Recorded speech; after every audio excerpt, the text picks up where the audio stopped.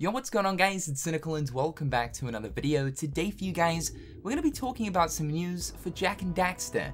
Honestly, I cannot stress how much this puts a smile on my crocodile. It's 2022 and we're finally talking about something new in the Jak and Daxter space. Some of you guys might know, uh, I'm a massive Jak and Daxter fan next to the Kingdom Hearts franchise. Uh, this is one of my all-time favorites, and for years and years on end, I have been absolutely crossing my toes, fingers, and nutsack over the hope that hopefully we will eventually at some point get a continuation uh, for this franchise. Uh, whether it be a comeback, a revival, I don't care. I just want more Jak and Daxter. And this past week has been a damn good one in the sense of there potentially could be Jak and Daxter on the horizon in the ways of a new game.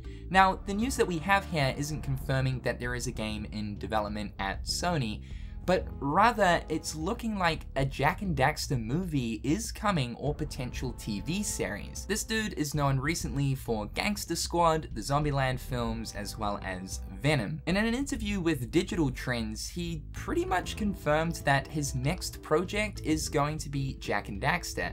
This is what he said, I'm actually working on Jak and Daxter, a version of that for PlayStation, which I think would be really cool to bring to life. Now, Sony themselves haven't come out to solidify this comment from Ruben. What it seems to be is uh, this is something that is potentially happening, but is in the very early talking stages of actually making it happen. But to be fair, Jak and Daxter is honestly the last IP out of the PlayStation catalog that I would expect to get a visual media adaptation, just because personally I don't have a lot of faith in either a Jak and Daxter series or movie. But as we know, uh, Sony have been a little bit more focused recently on bringing some of their IPs into the visual media sphere, with of course the upcoming Last of Us series, as well as Uncharted very shortly. We also saw back in 2016 that we got the Ratchet and Clank movie to go along with the reboot of the game. Uncharted, The Last of Us, and even Ratchet and Clank to a degree makes sense to have a visual adaptation uh, because all of those themes and what these IPs are sort of make sense, whether it be for Uncharted and The Last of Us getting a live action adaptation, or of course for Ratchet and Clank getting that CG adaptation. But Jak and Daxter is a little bit of a special case, with of course looking at Jak 2 and Jak 3 with its mature tones, but the game still sporting light-hearted moments with humor intertwined, as well as the fact that the game still uses a cartoon art style, it's hard to kind of pick what formula would best suit some sort of visual adaptation for Jak and Daxter. Now in my opinion, I would pick CG. I really do feel as if a live action adaptation of this would be a little bit awkward. CG would certainly be better suited for exactly what Jak and Daxter is and the art style that it sports. I also do believe that the story it would revolve around would be Jak 2, Jak 3 uh, in the future and not so much the Precursor Legacy. I absolutely love the Precursor Legacy. It's my favorite installment out of the franchise, uh, but just because in this current day and age, uh, we seem to like more mature themes, and the fact that like Jak 2 and Jak 3 really upped the ante in the sense of taking what was a light-hearted sort of open world platformer game with a mute protagonist to that of a very pissed off protagonist, chucking it into a Grand Theft Auto formula with way more dark tones going on, I think that is better suited for the visual adaptation side of things. I think more people are going to get a kick out of that. Ruben has mentioned that it's a version of that, so I don't think it would follow the same storyline or be any type of continuation of the series from where the series left off with The Lost Frontier Frontier.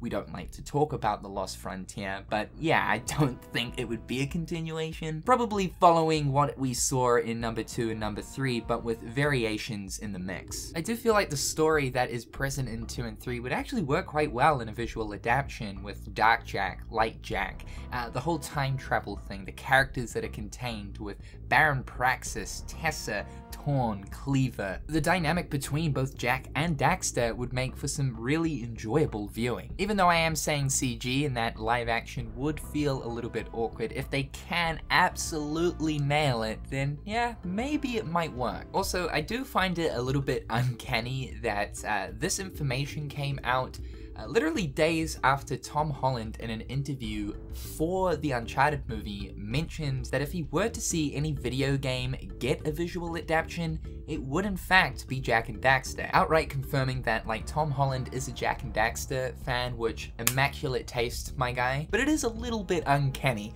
Uh, it makes me think that perhaps maybe Ruben and Tom were having some talks who knows? However, it's not so much the fact that we're probably going to be getting a Jak and Daxter uh, series or movie, but it's more so what could potentially follow with this. Now, like we saw in 2016 with the Ratchet and Clank movie, to go along with it, of course, we got the reboot. It's extremely possible that the same thing could happen here. Either that, or Sony might be wanting to make some type of visual media for Jak and Daxter to test the waters to see how much interest still exists for Jak and Daxter. I really don't think Sony need to test the waters though per se, because it's very apparent that ever since Jak and Daxter Daxter has been left dormant, fans have been begging and begging and begging. I would stand on a hill and die over the fact that I do believe that Jak and Daxter is probably the most anticipated, most wanted dormant PlayStation IP to have a comeback of sorts. And also too, I don't think that making a movie or TV series adaptation of Jak and Daxter is the best way to test the waters,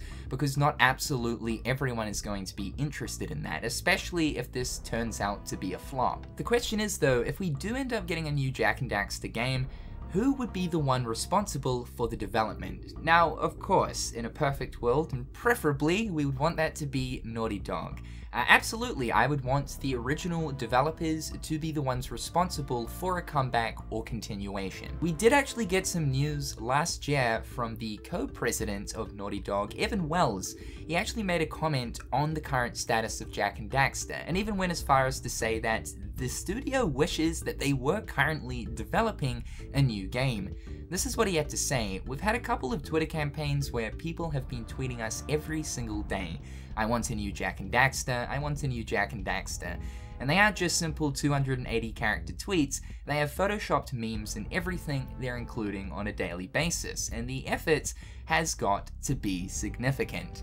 I hate to break it to them, we do not have Jak and Daxter here in development right now.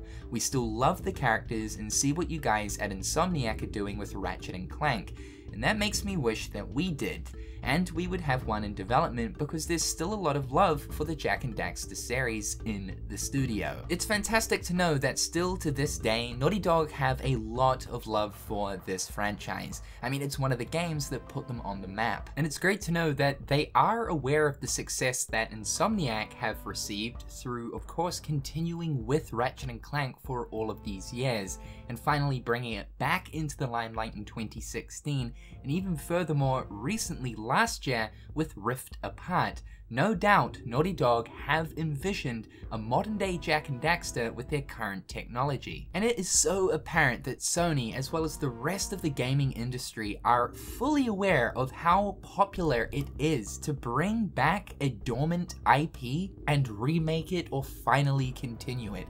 It generates an incredible amount of hype, and as an end result, produces a buttload of money. But right now, it does seem like Sony have Naughty Dog hard at work on a multitude of different projects, including one of them being Factions 2, The Last of Us Part 2 multiplayer. True, it's entirely possible that one of the projects that Naughty Dog could be working on right now could be a Jak and Daxter game, and that uh, Evan right here is just flat out lying. But with the rumored Last of Us 1 remake, which still kind of boggles my mind a little bit, that is apparently in the works, I honestly don't think so. Rather, I believe Sony would hand off the responsibility to another one of their first party studios. Now, I know how that might worry people, and again, like I said, personally, I would want Naughty Dog to be responsible. We saw what happened with The Lost Frontier. Uh, High Impact didn't do a great job with that. Though, of course, we have had another developer do something in the Jak and Daxter sphere, that being Daxter, uh, that was Ready at Dawn.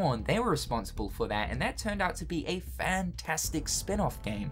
Though, that being said, Daxter's formula was a lot different compared to the formula we find in Jak and Daxter. So with High Impact Games trying to replicate that with The Lost Frontier, technically sort of being Jak 4 5, they really didn't do a good job and I think that led a lot of people to lose faith in anybody else developing Jak and Daxter. However though, in this current day and age, Sony certainly do strive for quality, and currently have a lot of first party studios in their grasp, with a ton of experience. I would be 100% confident with another one of their first party studios picking up the responsibility to continue Jak and Daxter. I'm sure that in this current day and age, Sony would absolutely ensure that whatever this next Jak game is, it is quality. For those people that also are unaware, there was a Jak 4, a true proper Jak 4 in development by Naughty Dog. This was leading up to before the development of The Last of Us. There are a ton of concepts that currently exist. Unfortunately though, this project ended up getting cancelled as apparently from Naughty Dog's words, the idea of this game was veering way too far off base from what Jak and Daxter is, with apparently the project getting way too mature and to a point where it was almost unrecognizable to be Jak and Daxter. Lo and behold, what this idea ended up evolving into was The Last of Us. So is it possible that perhaps maybe Sony want to pick up that idea of Jak 4 again, or just give Jak 4 another shot. I think though, if a movie or TV series is in the talks, this certainly does make me think that with the amount of anticipation, want, and need for a new game, and that yeah, Sony are aware of the fact, I do certainly believe something else will come along with this visual adaptation. However though, at this point, I'll take literally anything Jak and Daxter, I really don't care what it is, whether it be a new game or a visual piece, uh, I, am just so excited that uh, Jak is kind of potentially coming back. So uh, let me know what you guys think in the comments section down below. I'd love to know. However, dudes, I'm Cynical. Hopefully you're having a fantastic day, and I'll catch you guys in the next one. Peace.